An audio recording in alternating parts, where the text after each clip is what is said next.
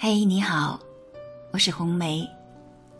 今天我想给大家讲一个中国大陆的感人故事。二十一年前，父亲病逝，母亲哭干眼泪，承担起抚养一双儿女的重担，没有再嫁。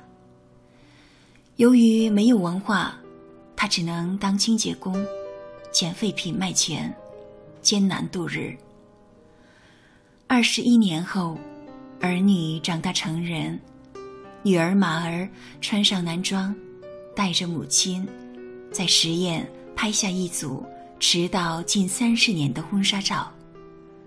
那一天，坚强大半辈子的母亲哭红了双眼。女儿说：“每个女人都向往穿上漂亮的婚纱，但我妈一辈子都在操劳。”一直没有机会穿，我就想给她补一套。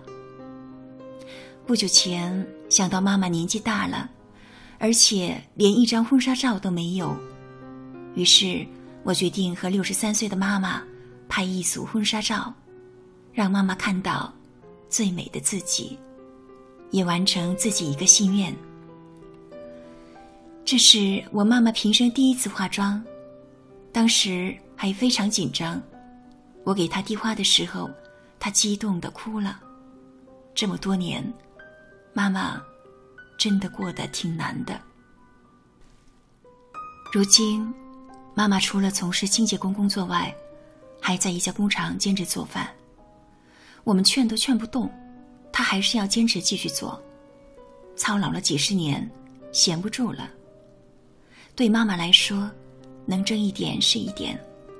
哪怕是很小的麻烦，都不愿多给子女增加。